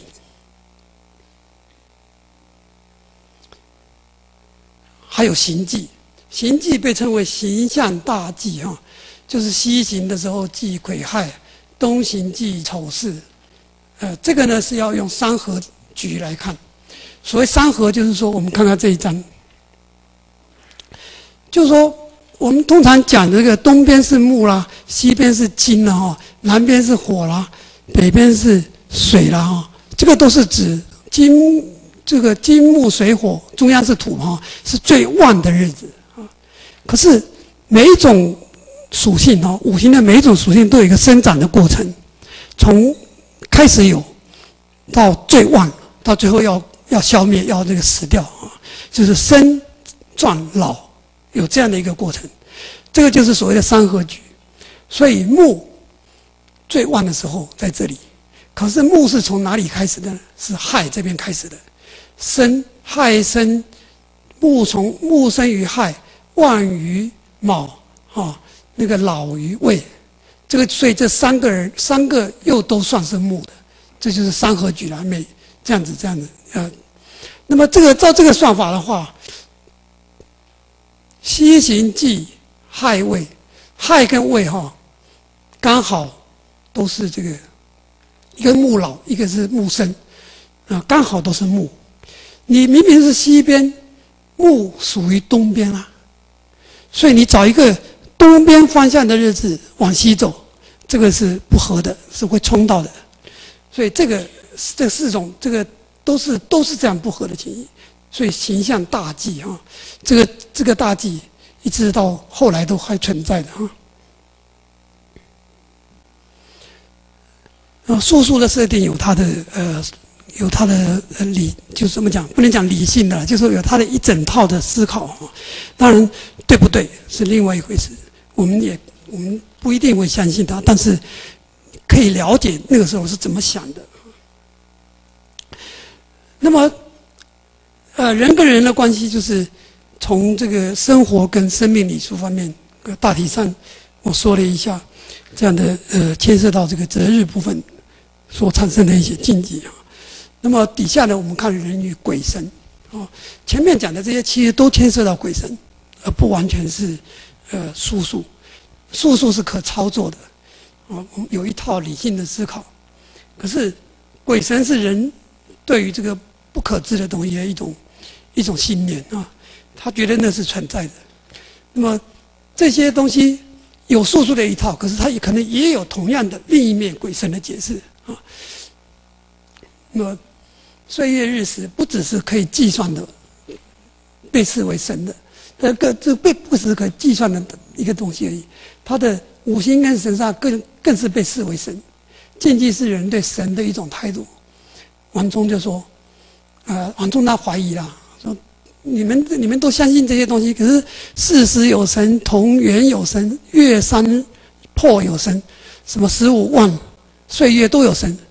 那么如果这些都有神的话，怎么算啊？十五怎么会是一种神呢？啊，那当然他是怀疑的，可是他的怀疑刚好反证了当事人通通相信这一套的。汉末的徐邈就称太岁为有神，当事人相信不必太岁月会触鬼犯神，啊，这个说明了禁忌正是鬼神凶恶之境啊。那么论衡提到说，鬼者甲乙之神也。甲乙者，天之别气也，就是天的另外一种形态啊。其形象人，这甲乙五行干支，在当事人的意念的意见中，也是一种鬼神。事实上，术数是学这么复杂哦。对一般人来讲，把境界禁忌鬼神来解释，更容易理解啊。我们前面提过，伏日不可外出，跟阴阳五行有关系，而民间却认为是伏日望鬼星才是原因。你跟他讲说，呃，伏日是怎么样怎么样？因为金气要伏产啊，什么什么？因为金呃火克金啊，什么？他不懂。可是你说这一天是外面都是鬼啊，就不能出去，他就了解了。同样的，你呃呃呃，《风俗通义》里面提过一段话，他说五日不，我呃五月五号不，五月不可以上屋。我们讲的哦，五月上屋，就影子就短了，怎么？这是你的理性解释。可是，一般另外还有一种解释，他们就干会干脆就用口号来表达。呃，这个呃，《风俗后面有这么一句话，他说：“五月上屋，令人头秃，头会秃。”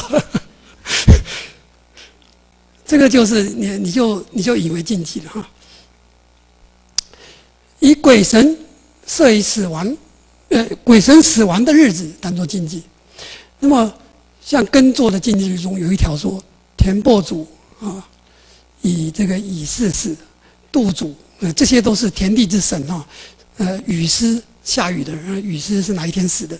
田大人是哪一天死的？所以这些都是都是这个不可以耕种的日子。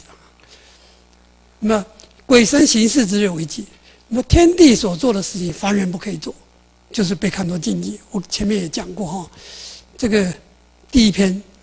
里面有天地盖房子的日子，在这些日子呢，一般人不能盖房子。建筑不同部位的房子呢，会导致不同家人死亡。啊，另外一个资料是正月是我刚讲的神以治世，所以凡人不能盖房子。寅是那那个新的日子也不能盖房子。地标是神以混工，所以你不可以砌土工。呃，孔家坡里面有一个那个。拆墙的日子啊，是不就是说它是地混毁丘之日，所以你也不可以把墙拆掉啊。天地出行的也影响到人间，所以我讲的次第临日，次第是掌天域的刑罚之神，出行的时候乃是人间来降灾的，所以因此你也不可以出行啊。所以这个是，嗯。鬼神的被想象中的鬼神的行为，被设定成那天他要做什么，你就不能做。那以鬼神的遭遇为记，这个我前面也提过。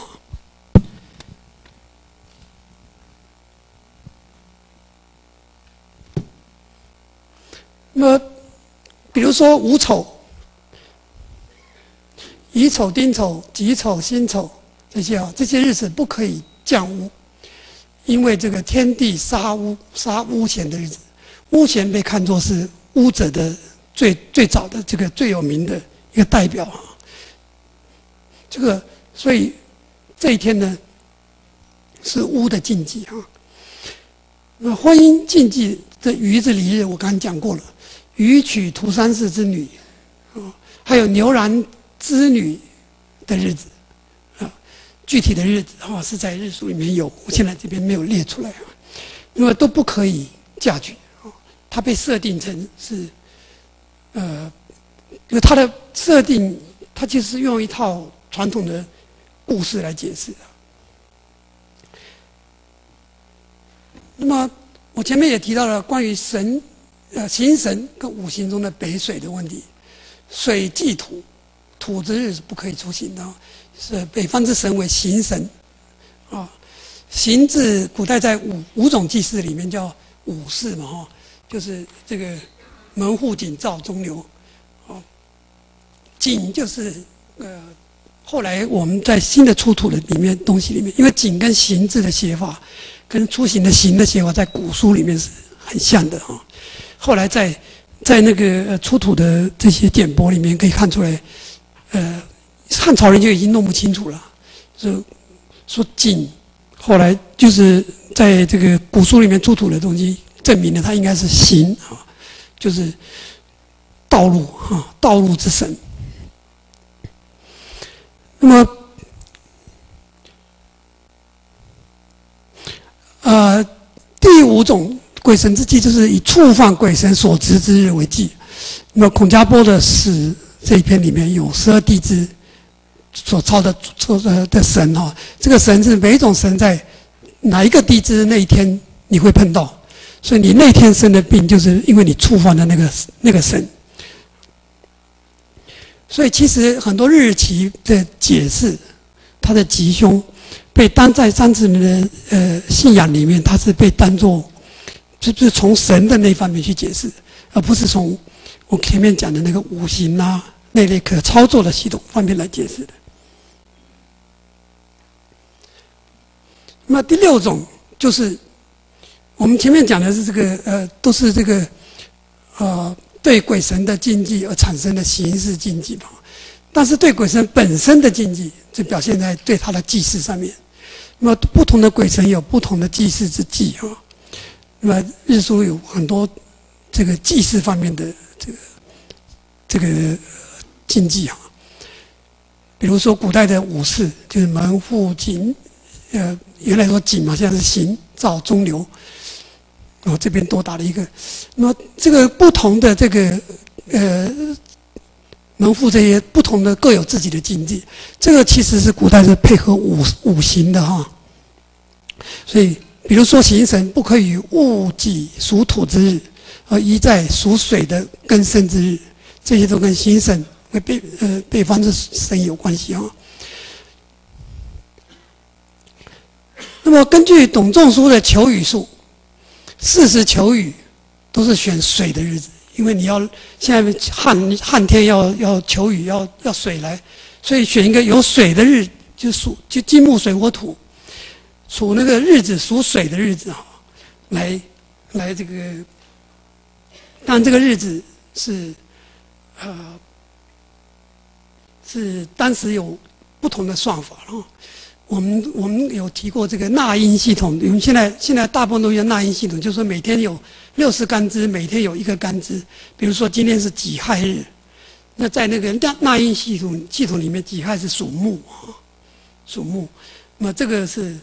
呃，可以计算出来，那但是也有别的系统啊，所以当时，呃，金木水火土，这跟这个五行本身的属性，比如说根是属金，比如就说或者是说子属金，它不就不一定用纳音来算了，它是它是地，它是分开算的，比如说庚子日，这两个都是属水嘛啊，所以。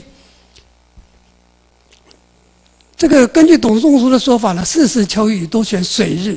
那么这个在实际的这个例子里面可以看到，董氏提到的是庚子日，还有庚是金嘛，子是水，而且是金生水嘛，所以是最好的日子。那么在后来的这个呃真正历史记载里面也是这样子的，比如说东汉安帝的时候，啊，在庚子日就举行了这个求雨的祭祀了哈。不过也有别的日子，建筑记载的还有舜帝的时候的庚申、戊辰，子帝时候的这个壬申，哦，那么在把这些地支的天干跟地支地支来看的话，生辰加上前述的子，生子辰刚好是三合局。我们前面那张图里面的属于水的三个地支，所以完全符合。从这个史实来看，也是完全符合的。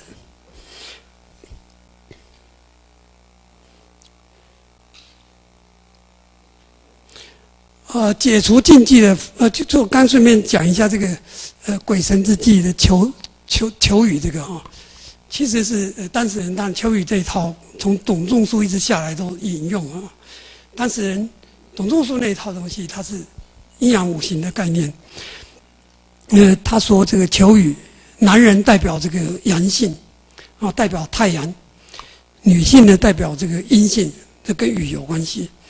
那么在求雨仪式里面，就是男性都要躲在家里面，不可以出来；女性的就就在这个都出去了哈，都在外面，这样子是可以抑阳辅阴的哈，阴气盛了就会有雨啊。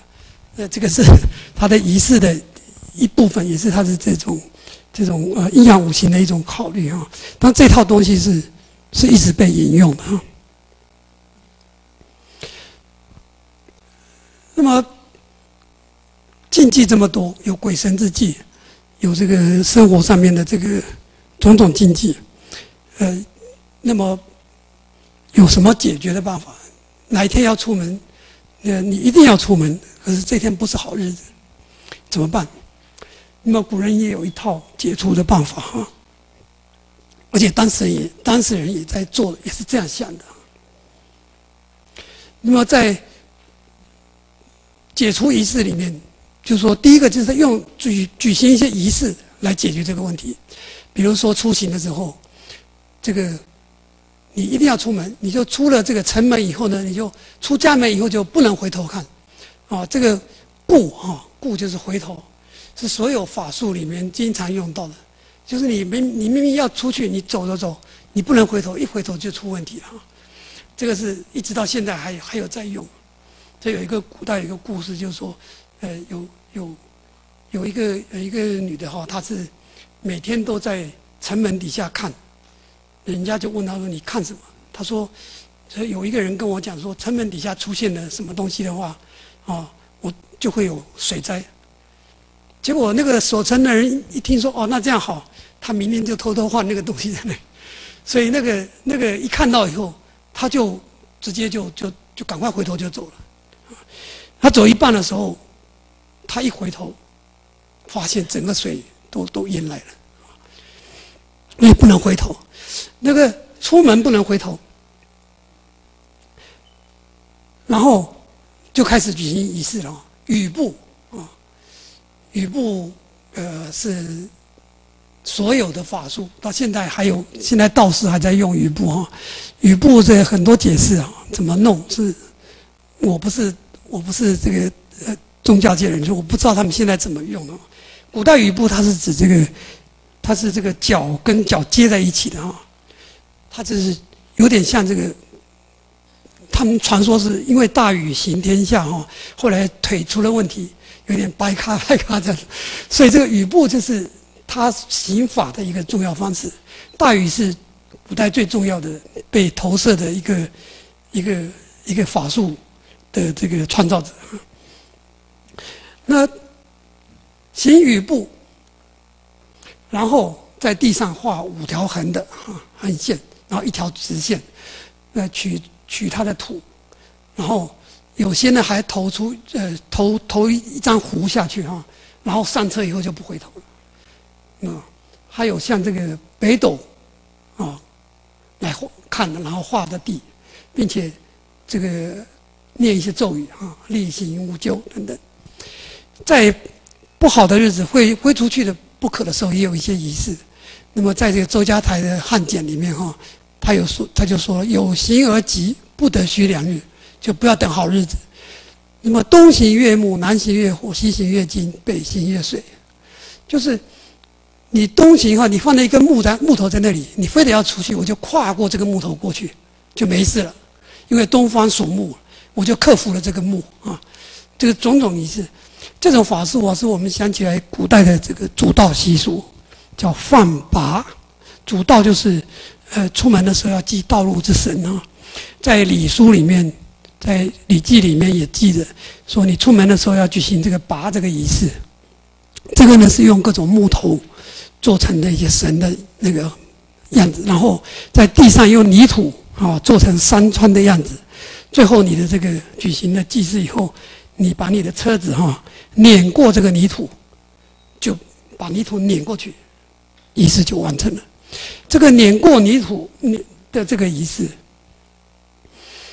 就好像是克服了山川啊，克服了险阻啊，因为泥土做的山嘛哈，所以这就是用一种一种仪式来解决这这个问题。当事人相信这个，如果出门的时候用雨布啦，或者投个符啦，或者是跨过这个火啦等等。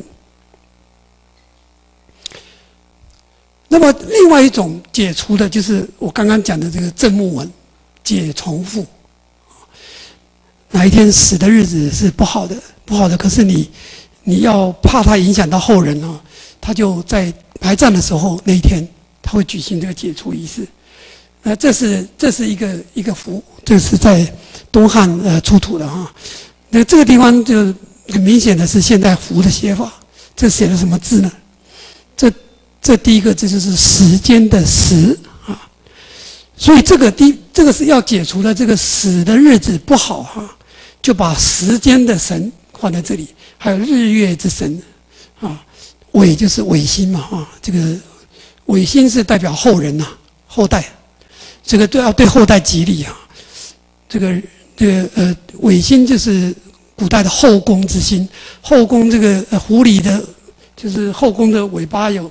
就是九尾哈，有九颗星，尾尾越多就表示说后代繁盛的意思哈。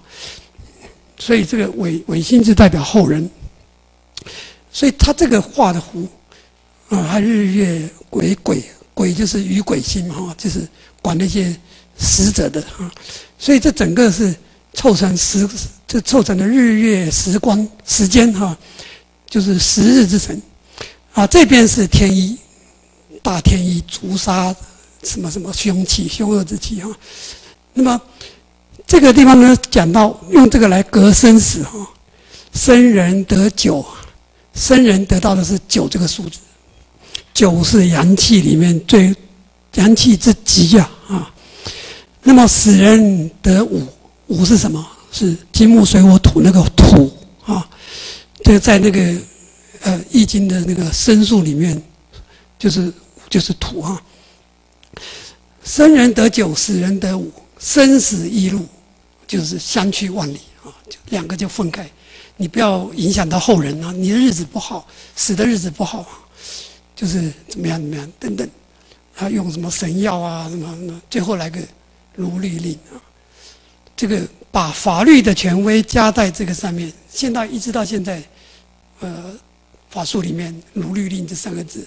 其实象象征的一种一种呃，不能说政治权威了，就是一种权威对于这个，它是以天地的名义嘛，这里是天地使者的名义，他是天地的使者，用天地使者的名义来镇压、呃改变、解除这样的不幸，这样的，解除生者跟死者的关联啊。那么以凶日来除凶。这也是另外一种解除的方式。呃，人们忌讳这个猫头鹰的哈，猫头鹰这个汉代的东郡产猫头鹰，政府就下令在最不祥的五月五日这一天吃猫头鹰，啊，他说五月五日猫头鹰是很毒嘛，这是以毒攻毒嘛，这是不祥之鸟，与五月五日的禁忌之日，杀而食之，象征这个两个都除掉，这个坏的跟坏的，一次就解决了。那么还有以符咒，我刚刚讲的那个前面那个就是符咒哈，嗯，另外还有一些记载，是在蔡邕在东汉末年蔡邕的《管灵注》里面说，他说这个耳朵目认啊，眼睛眼睛放泪水啦，什么耳鸣啦，啊，这些都是表示征兆哈，这都是有征兆的。在汉简里面也出土出土了这个耳鸣的书哈，就是代表什么？他眼皮会跳，代表什么？那么这些东西呢？这是小小问题了，小问题，当事人呢还封正书符，是用符咒来解决这个问题，以防其祸。有蔡邕之言，可以看出当时的禁忌现象、禁忌的这个出现的时候，有用这个符咒的。上面的解除的那个符咒是一个例子哈。另外出行当中还有咒语、鱼符，还有报布子里面提到登山符，都是例子。那么这一类的东西哈，其实很早就存在。我们一直以为在魏晋南北朝这种才盛行，可是后来出土的东西证明了很早很早就有这种东西。我曾经呃看过马王堆的里面的一份资料，他讲说人出行的时候到一个路上，到路上然后他要做休息的话，他要怎么防备？他就在地上画一个方，在自己所在的地区画一个方块啊。他说东是金关。呃，必以金关哈，东是什么？太什么山？西是什么山？所有的东西，坏的东西都不要进来，等等。那这一类的咒语呢，在后来在报卜子，差隔了差不多呃四百多年了，报卜子里面咒语是完全一样的。因为念咒从前面到后面，你如果念咒念错了就不灵了，所以一代一代是这么传的。很多东西，呃，政治的演变，社会的演变很快。可是这样的东西是很强固的，所以为什么建筑系统可以用两千年呢？那个符咒是很早就出现的。五行验圣之法，这是第四种解除的方式。就是说，前面其实也提过哈，触犯时日就会被岁月所失。那么在某个方位的话，就会触犯它。那以五行之物，显金木水火。假令岁月时与西家，西家显金；岁月时与东家，东家显炭。设计是以除其凶。这什么意思呢？就是说，你西家月时与西家，就表示说你那个在在那个呃挖土啊动土的是在东家嘛，东家结果害到西家的啊，那西家人怎么办呢？就选金，金是属于西方的，那么就可以克木啊。就不会被东东边的那一家人所害了啊，就可以用金来克那个东边那个木。岁月是以东家呢？嗯，没有，好像没有什么没电的，没关系。岁月是以东家呢，那么他就选炭，炭是代表火了哈。那个呃，火克西方的金啊。所以他就显得炭，所以同样的就是他用这种五行来验证啊。然后下面那一段呢，不择日而行的话怎么办？他说孔家波里面他就提到说，不以时出行的话，东行就拿着铁，西行就拿着炭，那跟前面讲的意思是一样。嗯，问题是我现在要怎么转？啊，下一。那么第五种解除的方法是避开时日方位及场所，哦，叫做避时、辨时、避忌，这是很汉朝很流行的一种习俗了，哈，就是碰到什么不好的日子、不好的方位，你躲开就是了，啊。那么秦始皇的时候，太后呃跟别人私通了，怀孕了，怕人家知道。他就假装这个说占卜哈，说要避到别的地方去，他就躲到另外一个城市去了啊，躲到雍地方去了啊。汉成帝的和平年间，太皇太后也避世哈，所以避世就是避开时日所及之处，因取时日之变，所以又称作变世哈。主要还是因为怕生病，是因为居载不不及，或者是时间某一个时间里面的居居载不及所造成的。那么有很多这样的故事哈，呃，这里就举一个好了。哦，汉下面就汉安帝延光年间废太子的事情啊，这个汉安帝的太子哈，在延光年间的时候，那个太子是生活非常不安哦，老是睡不着啊，老是那个一下子就哭，一下子就那个，嗯，最后他们认为这个是地方。这个是呃，就是怎么讲，触犯了什么，就就就就跑去避啊。那么他就跑到那个安帝的那个乳母，安帝乳母家里面去啊，去避这个避尸避忌啊。可是太子有自己的乳母，太子的乳母就说说你你这个安帝的乳母的家里面是不安定的，因为他最近动土哈。这个呃时间不对哈，触犯了土神，嗯，他就反对了，结果这两个乳母就吵起来了哈。最后这个安帝的乳母呢，就向安帝进谗言哦，就把这个太子的乳母给杀掉了。太子还很小啊，所以常常就啼哭啊，常常就不，常常就叹息啊。那么安帝的乳母就想说，这个小孩将来长大了，一定会对付我。所以他又不断的向这个安帝进谗言，最后安帝竟然因此而废掉了太子，哈，把太子废了。这样的一件大事，可是它的起因是什么？就是因为时间方位的禁忌所造成的。那么像这样子的争执，其实还很呃，这样这样子的影响还是其实还很多的。那么这个这套东西其实是被当时的朝廷所完是所实施的哈。我们还可以举很多例子。呃，比如说，呃，像在汉哀帝的时候，匈奴的单于哈，来这个朝拜啊，朝拜，像汉哀汉哀帝就把他安排在这个善林院的这个一个一个一个住的地方。那个可是这个住的地方，他就跟这个使者讲说，这是非常好的地方，对你表很尊敬，所以把你安排在这里。可实际上，这个地方是什么地方呢？他在这个长安的西南角。那一年刚好是呃十二地支里面的申年哈，属于申那一年。申就是长安的西南角，所以那一年的太岁就是西南角，他就把它镇压在那里哈。这个一个一个这个国际呃不是不能讲国际了啊，一个这种使节往来，他要镇压匈奴，所以他让他住的地方都。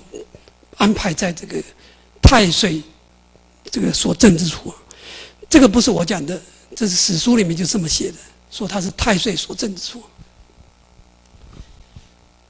呃，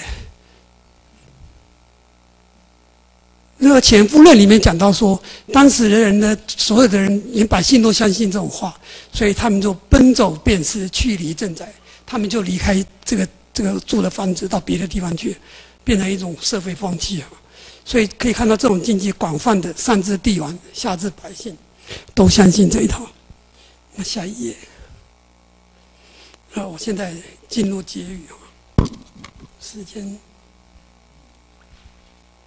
也差不多了，如果下呃念一下结论。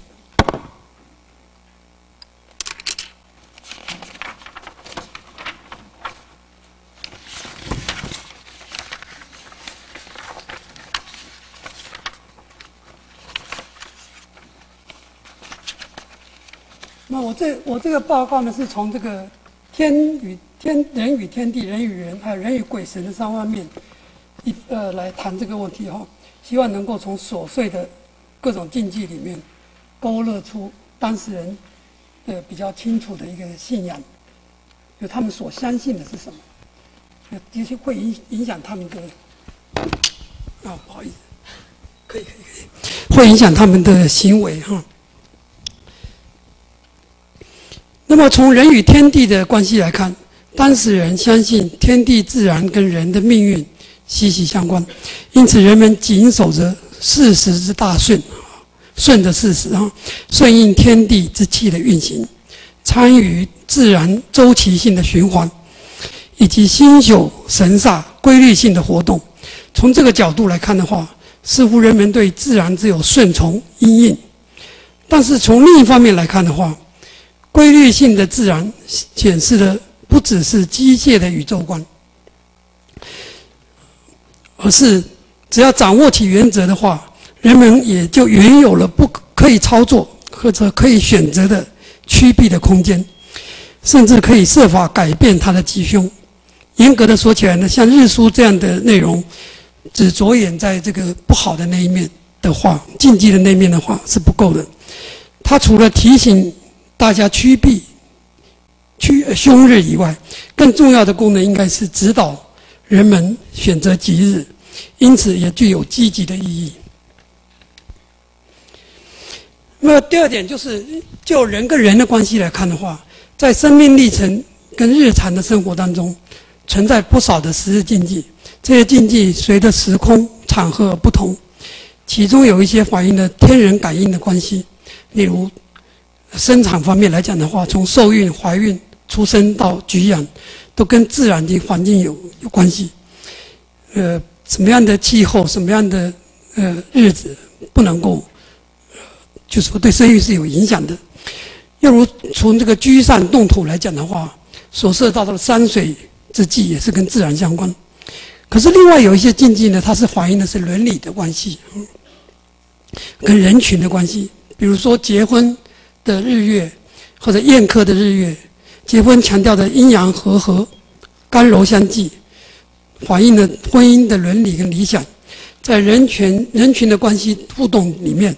禁忌不只是涉及个人，还牵涉到其他人。比如说，当事人相信某日出生的人长大以后会不利父母，啊，父母如果不遵守这个时日的话，也会产生命运不好的小孩。居住三世的禁忌里面哦，牵涉到了也不是一人一家，也扩过及的邻里，甚至整个社群。从这些关情形来看的话，十日禁忌可以说是重要的社会规范啊。就是也是提供人跟人相处的一个重要的参考。那么禁忌呢，是为了避免做不好的、要带来凶恶、凶恶的结果的事情，而产生的一种信仰。十日禁忌跟鬼神、跟巫术关系都很密切。比如说，伏日不可出门。那么，从精气伏禅这种解释，到一般人的万鬼通行解释。都是这个跟鬼神像，就说会更多人倾向于鬼神方面的解释。王充提到不相信择日跟避岁月者会触犯鬼神。那么五行阴阳、星宿、岁月，在一般人的眼睛里面，不只是具有规律性的自然，也是鬼神本身。那么禁忌必然是要托之于鬼神，才能够会被遵守，因为后果严重啊。那么，如果只是讲说什么什么道理是不会被遵守的，这些呃，包括了很多鬼神的各种驱避的方法，那上文已经都提到了哈。那么，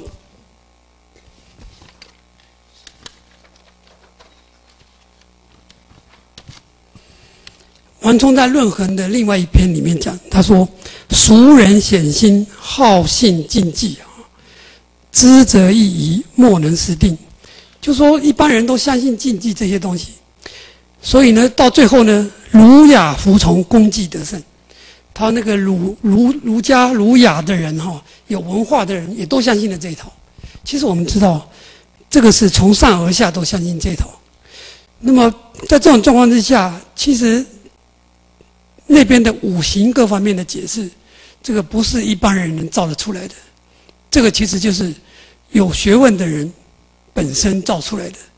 那么这么复杂的一套这些五行的观念、阴阳的观念，所以我们可以说，这个呃，王充叹气说，儒雅儒雅的人都没办法解决这个问题，最后是功绩得胜，就是说，一般那些呃专门处理这些东西的技术人员，功绩哈。功绩之家其实就是术数之家了，这些这些不重要的，就是流俗的人都相信这套，最后连呃儒雅者也顺从，这是当时被他所叹息的。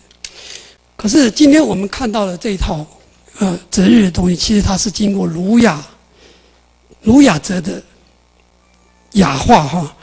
我们可以看到这个这些这个呃传统的背后是，它是儒雅的大传统的一部分啊。可以发掘出当事人的信仰的层面，这些信仰一部分反映了古代社会的原始信仰跟社会经验，另一方面也经过儒雅传统的伦理化、学术化，比如说五行学说。因此，禁忌不就不只是俗人的东西了，从上到下，嗯，莫不遵行，这个是，呃。而且在中国历史的社社会的长期的发展阶段里面产生了很大的影响所以值得我们特别注意。我今天就报告到这里谢谢。